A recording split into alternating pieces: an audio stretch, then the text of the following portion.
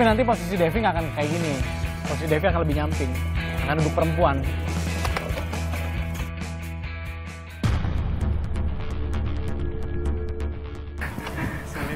Susah. Eh, Memang nggak gampang mas. Waktu saya boncengin Mas Temi itu agak gauleng eh, karena di situ ada beberapa belokan sempit dan tanjakan. Oke, yuk. Satu, dua, tiga.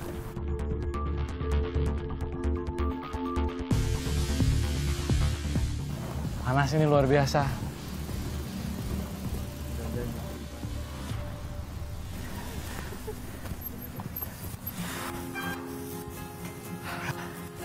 Gampang-gampang susah ya ternyata ya.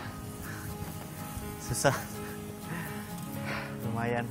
Yang pasti gini, gue percaya lu nanti bonceng Devi, bisa, itu aja. Amin. hati-hati pada saat tikungan karena pada saat eksekusi pelamaran gue nggak bisa kontrol lo gue ada di ada di pojokan yang gue bisa lihat kalian tapi kalian nggak bisa lihat gue gitu kan kayaknya latihan hari ini cukup ya teman-teman juga lagi bantu desain sepeda yang tadi lu desain ya kan kita ketemu lusa kalau kayak gitu Oke. thank you Siap. Jai Ya, makasih Good luck sama-sama. Ya.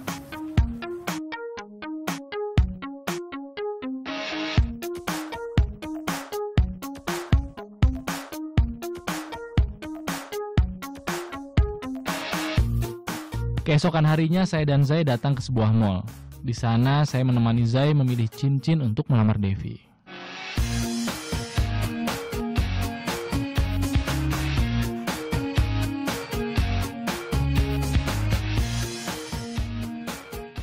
mas biasanya kalau cincin itu bisa ada kaitannya nggak sih sama karakter cewek gitu Oh iya pasti Eh, tergantung karakter si wanitanya. Devi itu karakternya apa sih Karakternya sih dia orangnya simple, Hmm. sederhana. Wanita simple, sederhana. Coba lu lihat deh. Kira-kira yang bisa mewakili karakternya Devi nih dengan cincin yang ada di sini yang mana?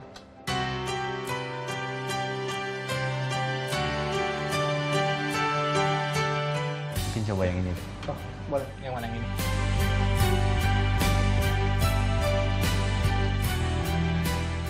Yang ini. Yang ini aja. Oke boleh. Oke. Silakan. Ya. Terima kasih mas. Terima kasih. Thank you ya. Terima kasih. Hari eksekusi pun dimulai. Selain bunga, Devi juga akan menerima beberapa surat yang kamu tulis sendiri. Dan di situ saya melihat ada cerita menarik tentang kamu dan Devi. Eh, Zai, nanti kan pada saat eksekusi pelamaran akan ada empat surat nih yang akan dikasih sama Devi. Nah, gue mau lu tulis suratnya sesuai dengan pengalaman atau momen-momen berkesan kalian di selama enam tahun. Enam tahun kan kalau nggak salah? Banyak sekali kenangan indah yang terjadi selama enam tahun berpacaran dengan Devi. Salah satunya yaitu kenangan di Lampung. Dan saya ingin menuliskan kembali kenangan itu di surat saya.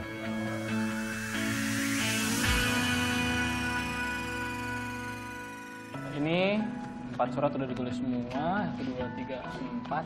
Nanti ini surat akan akan dikasih sama anak kecil. Nah, kita sekarang mau nyari anak kecil. Itu lebih susah dari lu ngelamar Devi nanti. Kita akan kaitannya sama anak kecil, kita akan minta izin sama orang tuanya, boleh nggak kira-kira anak kecil itu bantu lu untuk ngelamar Devi. Sekarang sebelum lu ngelamar Devi, lu harus siap lu ngerayu ibu-ibu yang punya anak kecil di depan sana. Oke? Iya, Yuk. cobalah.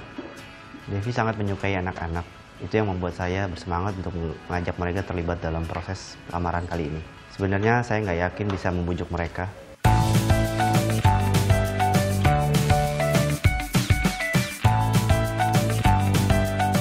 Ini tantangan. Lu harus bisa ngerayu anak kecil untuk bantu. Sanggup nggak kira-kira nih? Berat sih, tapi harus dilakukan.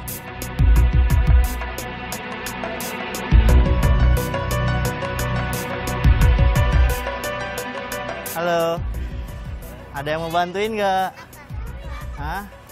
Mau bantuin ngasih nanti tantenya bunga? Mau. Aku butuh empat orang aja. Oh, banyak banget. Mana ya? Tapi kebanyakan. Eh, gimana kalau gambreng?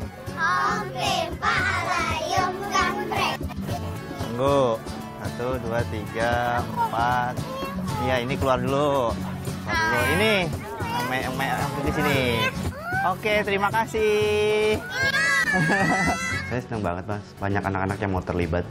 Tapi sayang banget, ada aja orang tua yang nggak ngizinin anaknya buat bantu saya. Halo tante, Jae. Nah, ini anaknya mau aku minta tolongin buat ngasih bunga nanti calon apa pasanganku.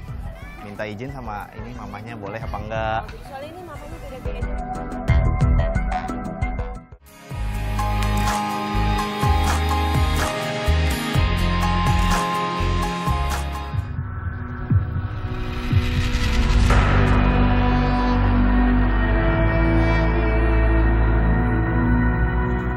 Saat rantai sepedanya putus, saya memang panik. Tapi saya melanjutkan dengan menuntun sepeda itu.